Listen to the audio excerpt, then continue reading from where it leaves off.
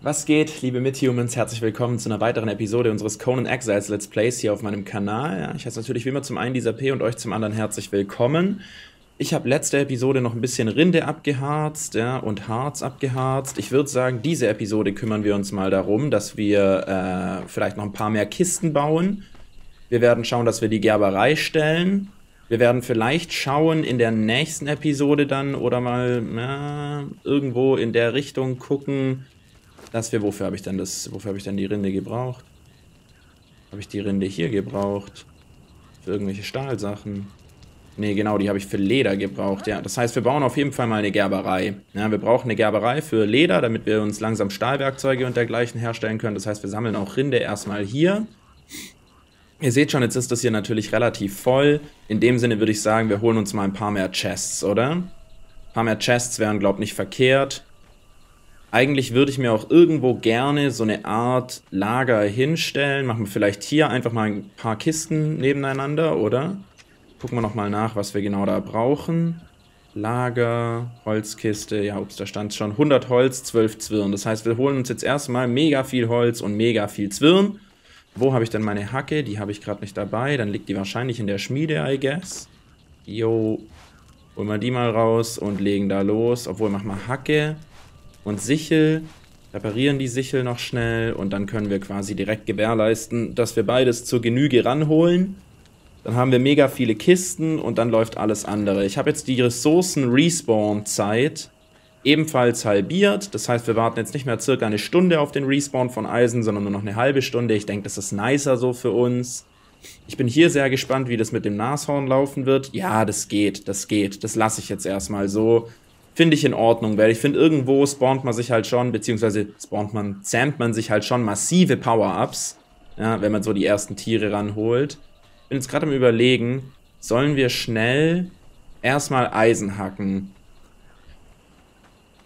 Ich wollte jetzt zwar eigentlich erst die Kisten machen, aber ich würde sagen, wir gehen erst schnell Eisen hacken, weil, ja, wisst Bescheid. Wenn ich es jetzt halt schnell mache, dann können wir es eventuell nächste Episode direkt nochmal machen und eventuell sogar noch die darauffolgende Episode direkt nochmal machen. Wäre halt nice für uns in dem Sinne, dass wir da einfach auch mal langsam genug haben. Gerade unter Anbetracht der Tatsache, dass wir später ja auch mit unserer Stahlproduktion richtig loslegen wollen. Von dem her ist es nice, wenn wir auf jeden Fall genug Eisen haben. Das heißt, ich würde jetzt mal kurz unsere Eisenroute abgehen ja, da haben wir auch direkt eine Quest drauf. Ist ja klar, Eisenernten Progress, direkt 1 von 10, 2 von 10. Dann machen wir hier unsere 4 von 10. Ja, dann läuft der Karren, ne? So, ja, das ist doch schön, das ist doch schön, da wollen wir doch hin. Hier, die große Python scheint echt nicht äh, zu respawnen. Ich weiß gar nicht, war das eine Python oder eine Boa oder irgendwie sowas. Da bin ich nicht ganz so drin, was die Schlangen-Knowledge betrifft. Ich kenne ein paar Schlangen, aber echt nicht viele. Ich weiß zum Beispiel, dass die Black Mamba gar nicht schwarz ist, sondern nur ihr Mundinnenraum ist schwarz. Deswegen heißt die Black Mamba. Ist kein Joke. Ich glaube, die ist gar nicht schwarz. Das ist nicht das Ding. Ist nur, wenn du quasi, wenn sie dich beißt und du schaust in ihren Mund, in dem Moment kurz bevor sie dich beißt, dann schaust du quasi dem schwarzen Tod ins Gesicht. Deswegen heißt die Black Mamba. Ja, und die Black Mamba ist ja auch ziemlich klein. Die ist jetzt ja keine große Schlange. Ich glaube, so eine Boa Constrictor ist was Großes, oder? Ich glaube, eine Anaconda ist ganz groß, oder? Aber sonst, ich kenne mich bei, bei Schlangen eigentlich nicht so gut aus, muss ich ganz ehrlich sagen. Ich nicht so eine Ahnung. Äh, weiß ich noch, dass so Nattern relativ klein sind, oder? Gibt's so. Ich weiß noch, wir hatten mal irgendeine Schlange in unserem Teich und die hatte zwei so weiße Huppel auf ihrem Kopf. Und die war mega cool. Die haben wir dann in so eine kleine Wanne gesetzt und dachten so, ja Mann, cool, dann können wir uns die nach dem Mittagessen nochmal anschauen. Wie alt war ich da? Lass es zehn gewesen sein oder so. Also echt nicht sonderlich old. Ja, das war jetzt ja wieder klar.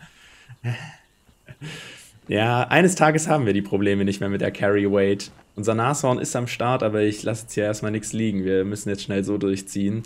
Ähm, ja, und das war ganz lustig. Wir haben die dann halt, wie gesagt, in so ein äh, in so eine Wanne reingetan. Wir hatten da so einen Kübel, war halt Wasser drin und wir haben da so einen Stein reingetan, damit die da chillen kann. Und trotzdem war so, ja, wie lang war die?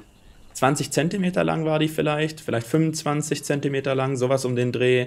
Und wir haben halt so gedacht, ja, die kommt da never raus, weil das ist an den Wänden, was weiß ich, noch 30 Zentimeter hoch und hat da genug Abstand zum, äh, ist sehr steil und so, wisst ihr, wie ich meine? Ja, und wir waren halt beim Mittagessen und danach war die halt weg. Also die hat es halt doch irgendwie geschafft und wir fanden es eigentlich ganz nett. Jetzt, wenn ich gerade so drüber nachdenke, bin ich mir gar nicht mehr so sicher. Wisst ihr, kam sie raus oder kam eine Krähe oder so und hat die da halt abgeholt? Ich meine, es sieht halt wurmhaft aus. Auf sowas haben Vögel Bock wenn die da versucht hat rauszukommen, dann haben wir vielleicht in dem Sinne auch einfach ihr Todesurteil unterschrieben, weil sie halt quasi kein Cover hat, ja. Ich meine, in so einer kleinen Wanne dann, ja, was man als Kind nicht alles so für Quatsch macht. Ja, im Nachhinein vielleicht ein bisschen doof gewesen. Aber das war auf jeden Fall eine coole kleine, ich glaube, das war eine Art Natter. Ich bin mir nicht sicher, weil ich habe davor und danach nie wieder so ein Tier gesehen. Äh, was ich auch relativ schade fand, wie ich sagen muss, weil die war echt cool. Ja Sonst, was hatten wir so an dem Teich? Ja, halt Frösche, Libellen. Bei Libellen kenne ich mich ein bisschen aus. Da weiß ich Bescheid, dass die, die Libellen, die so jeder kennt, ja, man kennt ja so. Ich finde immer, der Vergleich passt ganz gut. Es gibt ja so ganz normale Grashüpfer, die so jeder kennt, würde ich behaupten. Und es gibt diese Heupferde, die grünen, die ungefähr so groß sind. Und bei Libellen ist es ähnlich. Es gibt so diese roten und blauen Stifte, die einfach nur so lang und ziemlich dünn sind, ja, wie, wie, wie dick sind die, wie eine dicke Schnur oder so, sowas in der Art, ja, oder vielleicht so wie so ein sehr, sehr dünner Stift, irgendwie sowas. Und dann gibt es die nächst größere Variante, sage ich mal. Die Königslibellen sind es vor allem in Deutschland, die da würde ich sagen eigentlich jeder kennt. Die sind so blau-grünlich und die haben ungefähr die Größe von so einem Heupferd. Und die fand ich immer schön. Junge, war ich da immer froh, wenn da einige davon an meinem Teich ihr Leben gelebt haben. Das war schon richtig cool. Natürlich damals auch das Glück gehabt, äh, hier jetzt äh, das, das Haus, das ich zwecks meiner Family bewohnt habe, war jetzt nicht das größte, nicht das coolste so, aber der Garten, den wir hatten, der war halt superior. Ja, der war echt superior. Und ich würde auch behaupten, in dem Garten habe ich mehr gelernt als in so acht Jahren Schule. Das haut, glaub schon hin. Ziemlich sicher sogar.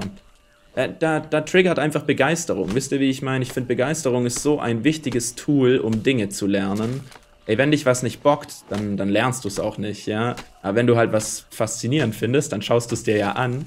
Und letzten Endes finde ich immer wieder ganz lustig, gell? Man tut ja gerade hier in Deutschland immer so, boah, man muss schon studiert haben, damit XY, gell? Und ich denke mir immer so, ich studiere ja selbst, äh, die Leute verstehen das hier und da ein bisschen falsch.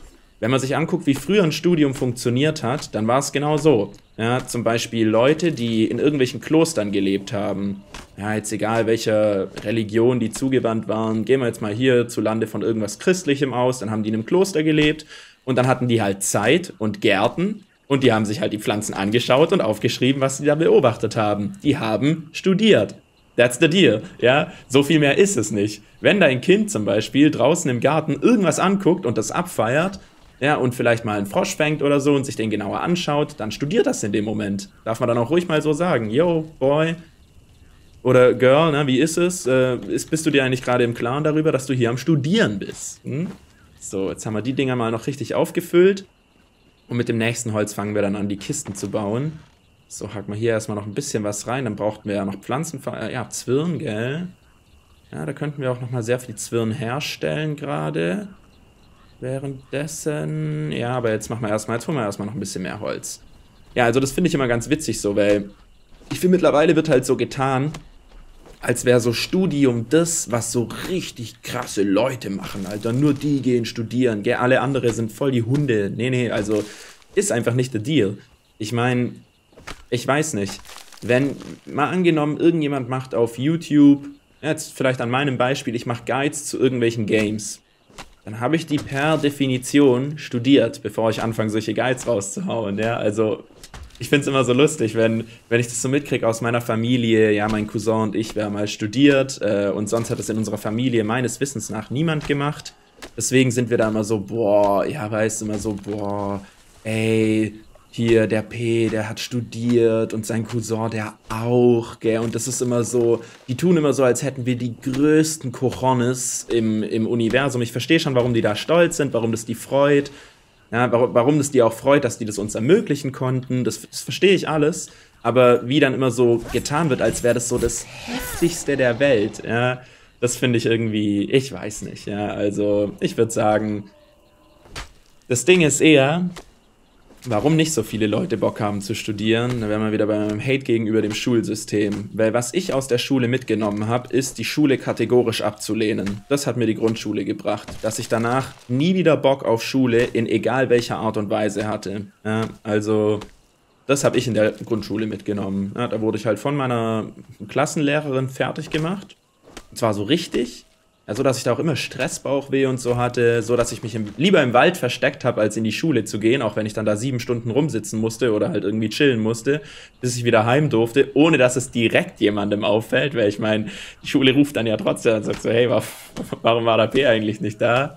Äh, aber ja, also ich habe es halt schon immens gehatet. Hm, und das hat sich dann auch lange, lange Zeit nicht mehr geändert. Irgendwann, als ich dann, ich sag mal, in dem Alter war, ich habe dann ja noch, äh, bin dann auf die Hauptschule, bin dann auch auf die Realschule, bin dann aufs Gymnasium, auf ein biotechnologisches Gymnasium. Und das waren halt alles so Geschichten, wo ich mir so dachte, ich habe das nicht gemacht, weil ich Bock auf Schule hatte. Ich habe das gemacht, weil ich viele Kumpels und ja, halt einfach Leute in meinem sozialen Umfeld hatte, die halt gesagt haben, ey, der P, der kann das gar nicht. Der, der, ist, der, der muss einfach auf die Hauptschule, weil der ist ja voll dumm und so. Und da habe ich mir halt immer gedacht, Leute, ich bin, ich bin so immens schlau, ja, also mal mindestens gleich schlau wie ihr, haltet mal die Schnauze. Und das ging mir so auf den Sack, dass ich quasi die ganzen weiterführenden Schulen hauptsächlich besucht habe, um es den anderen Leuten zu beweisen, dass ich nicht so der dumme Lappen bin, ne? sondern dass ich einfach keinen Bock habe auf Schule und das aber zwei Paar Schuhe sind. Ja, ähm, ja und so war das dann eine ganze Weile, habe dann da durchgezogen, mir war da auch alles egal. Ja, also ich habe da schon hart auf alles geschissen, das kann man nicht anders sagen, aber ich bin halt trotzdem easy durchgekommen. Wisst ihr, wie ich meine? Und mein größter Flex war immer, als Leute gemeint haben, ja, P, du bist in der Hauptschule nur gut in Englisch, weil das da voll der Witz ist. Rea 1, Gummi 1, nie irgendwas gemacht. Hm, da habt ihr nur gut, weil Hauptschule, ja. you wish, you wish, ja. Das, wär, das hätten die sich gewünscht. Wisst ihr, wie ich meine? Ah, der P ist gar nicht gut. Wir legen uns das jetzt zurecht. Der ist nur gut, weil er auf der Hauptschule ist. ja, das hat nicht so gut für die geklappt. Mittlerweile wissen alle Bescheid. Der P ist so gut in Englisch, dass sich stellenweise Leute auf YouTube beschweren, dass er zu viel denglischt. Das ist jetzt eher mein Problem. Ich muss, da, ich muss wieder ein bisschen runterkommen von dem Trip. ja, okay, so, guck mal. Da würde ich sagen, das reicht erstmal. Die sind einigermaßen gut platziert, muss ich sagen. Ja, weil der P auch in Geo gut ist, in Geometrie. Aber natürlich auch nur, weil er auf der Hauptschule war und da war er halt gut, sonst nicht. Ja, Quatsch, nee. Bin da einfach gut, hab da einfach ein Auge für. meine Mama erzählt immer wieder gerne die Geschichten von früher. Ich hatte äh, so einen Koffer schon mit einem Jahr alt konnte ich sehr gut laufen tatsächlich. Und ich hatte so einen Koffer mit Autos drin. Ich konnte die alle zwecks Marke und dergleichen benennen. Damals war ich also noch ein Automaniac, trifft heute gar nicht mehr zu. Ja, ich hasse quasi jeden, absolut jeden. Mir ist auch egal, ob die das verdient haben oder ob die das geleast haben und sich einfach nur cool fühlen wollen, wenn die damit rumblasen. Aber wenn die hier so durch die Stadt fahren und halt mit ihrem V8 Biturbo immer wieder ja, so ein paar Fehlzündungen aus dem Auspuff bolzen und sich dann halt mega lässig fühlen. Ah, das finde ich sehr schwierig. Denn ich denke mir immer so, hey, ist ja schon cool und wenn du dir das erarbeitet hast, mega lässig, aber ich hätte auch nichts dagegen, wenn das so Tesla-mäßig ein bisschen rumschleicht, ja, hätte ich gar kein Problem damit. Also mein Problem mit der ganzen Geschichte ist eher so, Leute, wisst ihr, es ist halt nicht nötig. Ja, könnte man gerade schon ein bisschen drauf achten, da vielleicht zwecks Umweltgeschichte nicht so rein zu flexen. Wie wär's, ja? Mal vielleicht so das Wohl der Gesamtheit über dein eigenes stellen. Bin ich ganz großer Fan davon hier und da. Ja, aber kann man, ja, wisst ihr, wie ich meine? Letzten Endes ist es halt den ihr Ding. Was will ich machen? Wenn die das halt abfeiern, was, was soll ich machen? Will ich den dann irgendwo auch nicht nehmen? Ja, wenn die das Gefühl haben, hey, das brauche ich jetzt, um mich irgendwie mal richtig zugehörig zu fühlen oder so, was, was soll ich machen? Was will man da machen? Ist halt den ihr Weg. Den ihr Weg des Ninja. Da kann man nichts tun. Hm, aber war halt nie mein Ding. So.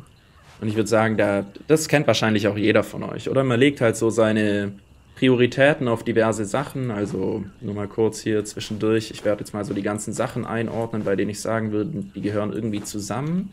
Oder hier so Loot von Viechern. Würde ich in die nächste Chest reinbolzen. So, guck mal hier, genau, Loot von Tiere.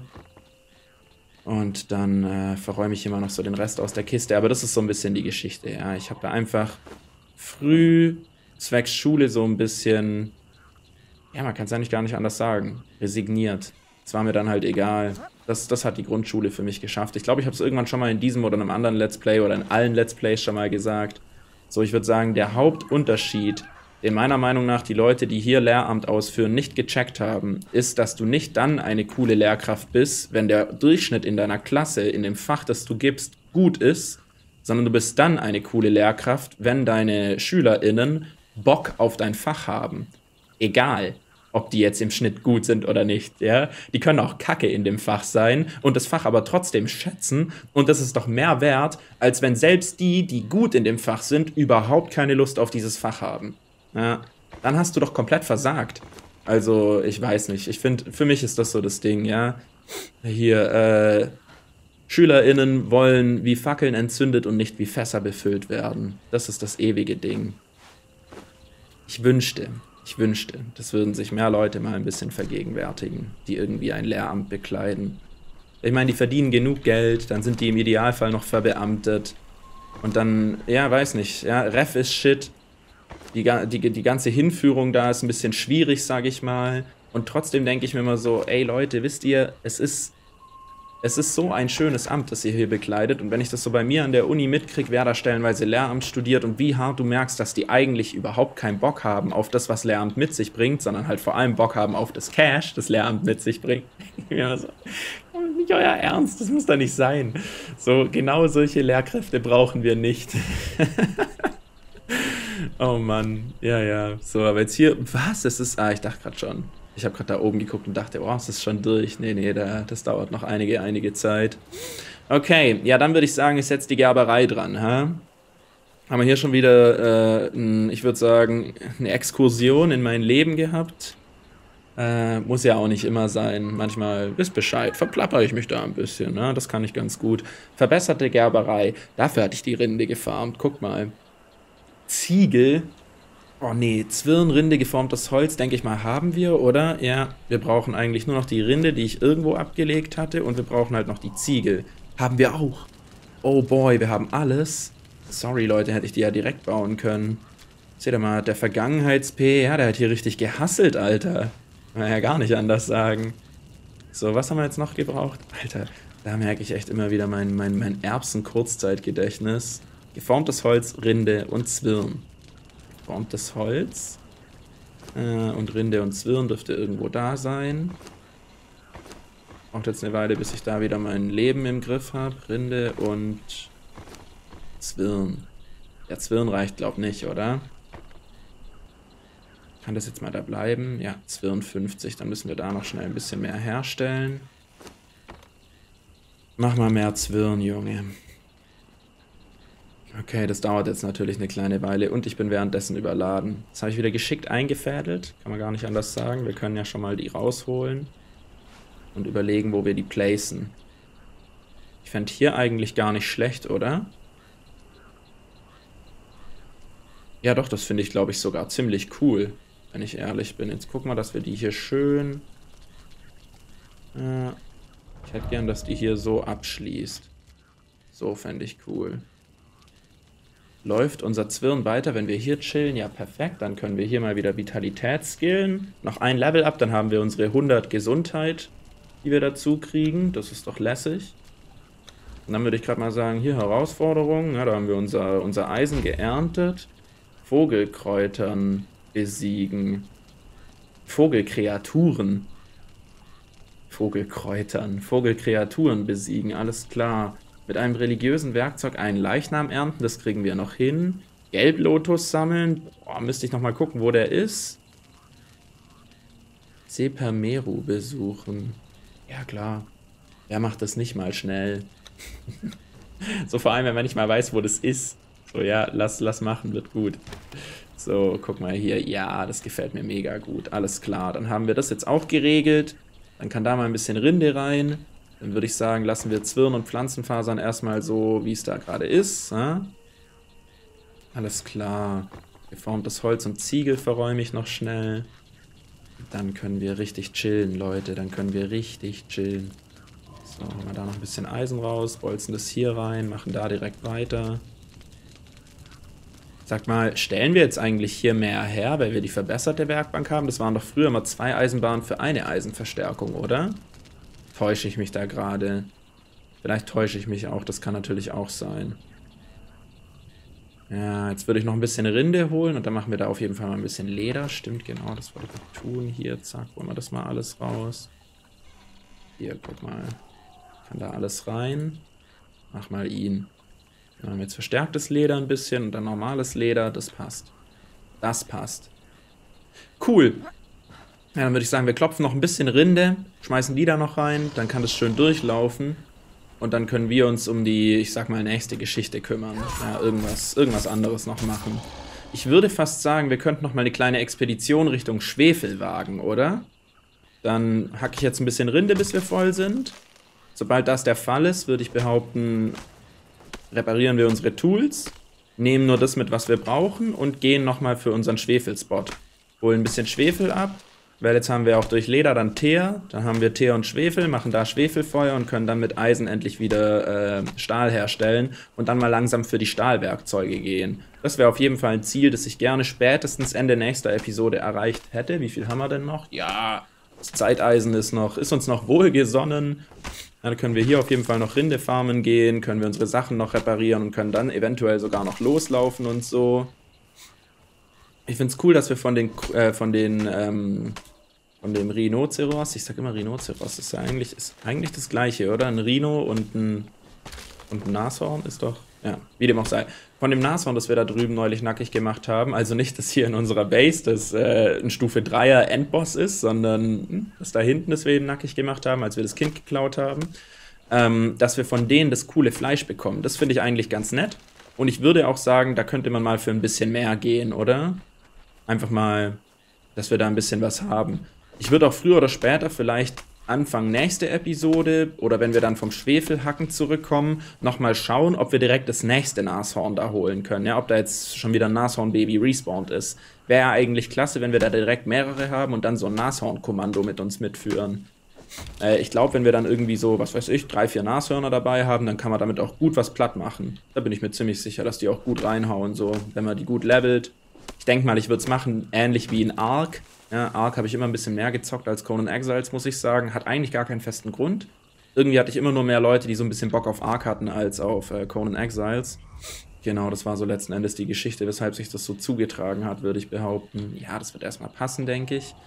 Genau, ähm, und in Ark skillt man halt eigentlich die meisten Dinos, die man so benutzt. Wenn man sie wirklich zum, zum Battlen benutzt, dann skillt man die eigentlich fast durchweg auf Leben. Ja, damit die halt einfach überleben. ja, hätte man jetzt nicht gedacht, gell. Da auf die Konklusion wäre ihr niemals gekommen. So, hier hatten wir Harz, genau, Ranken. Irgendwo hatte ich noch die Käfer drin. Wo war das noch gleich? Hatte die beim Loot, gell, genau. Stein kommt da hinten rein. So, zack. Dann könnten wir hier irgendwann mal die Ziegelproduktion wieder anhauen oder so. Und hier erstmal schnell unsere Sachen reparieren. Ja, unser Katana reparieren wir jetzt direkt einfach auch. Wie geht's unserem Eisenabhäutemesser? Ja, komm, wir reparieren jetzt einfach alles. Darf ich da nicht draufklicken? Hä? Okay. Warum darf ich die nicht anklicken? Hä? Okay. Okay. Man darf die nur anklicken, wenn man die gerade erst reingelegt hat. Ansonsten... Nee. Nee, darf man die einfach nicht anklicken. Das sieht das Spiel überhaupt nicht ein. Dann würde ich sagen, wir rennen so los, oder? Mehr brauchen wir. Braucht noch der Ketoskuss nicht. So, oder? Eine Waffe. Äh, Aloe. Vielleicht ein bisschen mehr Essen. Wäre, glaube ich, nicht schlecht. Haben wir da noch was? Da haben wir noch was, oder? Ja, Fleischfetzen. Cool. Dann kommt Aloe dahin und dann passt es. Wasser haben wir dabei. Würde ich noch schnell was trinken, bevor wir dann losrennen. Und dann geht's ab, ja. Müssen wir gerade mal gucken, ob wir da durch die eine Stelle, die ich neulich announced habe, ob wir da auch durchkommen. Da gucken wir jetzt gerade mal nach. So, und zwar hatten wir ja gesagt, da gab es so einen Weg durch, gell? Hier irgendwie. Da würde ich gerne durch hier durch, dann darüber. Das wäre eigentlich perfekt. Oder eigentlich hier durch straight könnte auch gehen. Dann müssen wir noch ein gutes Stück in die Richtung. Und ein bisschen weiter hoch, also so die Richtung. Vielleicht genau zwischen diesen beiden Steinfurchen durch. Das könnte es eigentlich gerade so sein, oder? Hack mal die schnell weg. Wie adrett er da steht. Dass die damit kein Problem hat, dass wir hier regelmäßig kommen. Die hat uns sowas beigebracht eigentlich. Wir kommen hier vorbei, hauen den ihre Anhänger weg und gehen wieder. Finde ich schon grenzwertig, muss ich sagen. Hm, ja, kein Thema für uns. So, wo war ich jetzt? Da wollte ich hin, gell? Haut es hin? Das könnte hinhauen, ja. Irgendwie, ja. In den Dreh müsste das sein. Aha. Ja, die ziehen wir alle aus. Das ist kein Problem für uns. Mit der großen machen wir nichts. Die kleinen sind easy. Da kommen wir mit unserem Dash-Move immer ganz gut ran. Mhm, genau. Genau so muss das laufen. Ja, das ist doch einfach schön. Guck mal, wir sind hier echt gar nicht so weit weg. Ich meine, letztes Mal sind wir allein hierher schon ein ganzes, ganzes Stück gelatscht. Muss ich nochmal gucken. Ein bisschen weiter rechts ist es und dann kann man da anscheinend einfach durch. Ich glaube, das ist wirklich hier genau da durch. Was, was sind denn diese Lichtblitze? Hat das gerade gesehen? Was war denn das? So, und jetzt hier durch, oder wie? Oh. Oh. Was ist denn er? Ja, also hier gibt es auf jeden Fall mächtige Gegner. Jo, was ist denn er?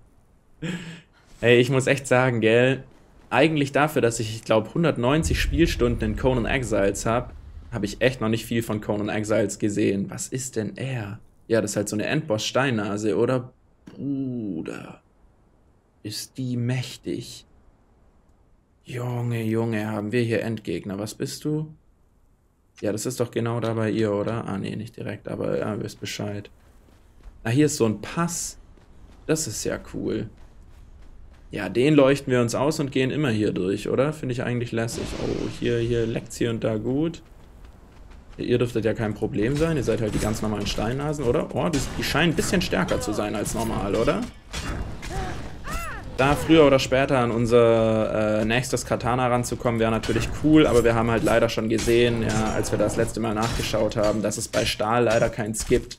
Das ist sehr sad, aber ist in Ordnung, können wir irgendwie mit leben. Okay, 3 ist vielleicht ein bisschen blöd. Gucken wir mal. Ja, ja, genau. Kriegt euch alle mal ein bisschen ein. Und jetzt hacke ich hier rein. Da ist doch schön. Guck mal, hier schön im Moshpit. Mal die beiden schnell als erstes nackt, dann ihn. Easy. Easy. Gar kein Thema. Was, was wächst hier denn? Was ist das? Ist das, ist das auch Eisen? Sieht stark so aus, oder? Ja, okay, hier geht auch nochmal sehr viel Eisen. Hier ein Lager drin. Wäre halt auch irre. So, so eine kleine Zwischenbase da drin. Das wäre doch eigentlich stark. Junge, wohnen hier Steinnasen würde sagen, ich gehe straight über das linke. Es scheint alleine zu sein vorerst. Ach komm, ich, ist jetzt egal, oder? Hier die Steinhasen, deswegen sind wir ja nicht da. Oh, ich würde eh sagen, ja, jetzt sind wir relativ bald mit der Episode durch. Ich komme da noch schnell an und dann bist uhuhu, ja, hier, ja, neues Leben laden. Oh, da geht Verderbnis, guck mal. Ach, sie kommt immer noch mit. Ja, komm, dann ziehen wir ihr halt noch schnell die Schuhe aus, wenn sie so Bock drauf hat. Alter, der heftige Hit. Okay, das scheint eine normale zu sein, oder? Die kriegt wieder vernünftigen Damage, würde ich sagen. Ja. Ja, Leute, dann würde ich sagen, wir gucken in der nächsten Episode, dass wir hier schön an äh, Schwefel rankommen. So viel wir halt bekommen können, oder? Ich würde auch sagen, wir gehen da wieder an den einen Spot, den wir schon so ein bisschen erprobt hatten da hinten. Da müsste irgendwo hier wieder diese Heuschrecke sein. Und dann würde ich sagen, nächste Episode geht es darum, mächtig, mächtig, mächtig viel Schwefel ranzuholen. Sag mal, ist der überhaupt schon nachgespawnt? Ja, okay, jetzt ist gerade alles erschienen. Ich dachte gerade schon, das wäre jetzt alles noch gar nicht da. Das wäre ungünstig gewesen. Halt, ich mach mal noch schnell kaputt. Müsste gerade noch so hinhauen. Mhm. Ja, genau. Ja, ist gar kein Thema. Da musst du schon, da musst du schon anders rumkommen, um mit mir zu messen. Naja, ah da bin ich schneller als du. Okay, Leute, dann würde ich sagen, es war eine erhabene Episode. Ich wünsche euch was. Lasst Liebe da. Stay hydrated, stay Conan Exiles. Bis zum nächsten Mal. Euer P. Ade. Besser abonnieren. Besser abonnieren. Besser abonnieren.